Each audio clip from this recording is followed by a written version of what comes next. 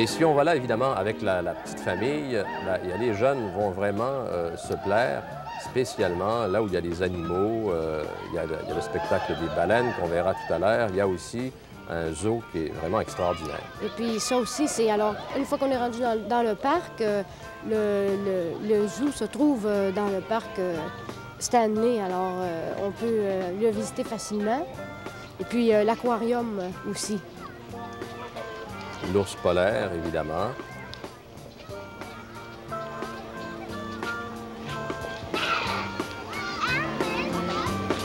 Ce qu'on pourrait appeler une symphonie en, noir et blanc.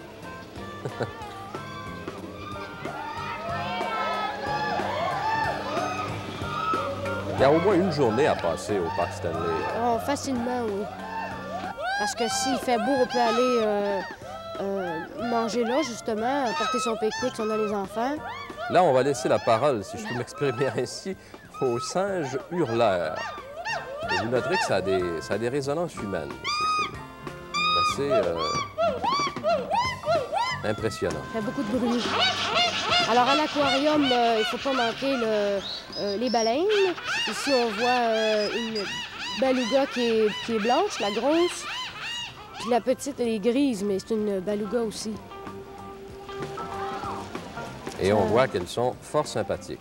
Ça a l'air trop dangereux. Non. la dame qui, euh, qui, les nourrit ici euh, ne craint pas, comme on peut le constater, d'entrer son bras jusqu'au coude, là, dans, dans, la gueule de la, de la baleine, pour lui donner sa ration de, de nourriture. Et le, ce qui est gris ici, c'est, on appelle ça un baleineau, c'est ça? Oui, puis euh, elle sera blanche. Euh, une beluga aussi, elle sera blanche. Euh, Quand elle deviendra adulte. Adulte,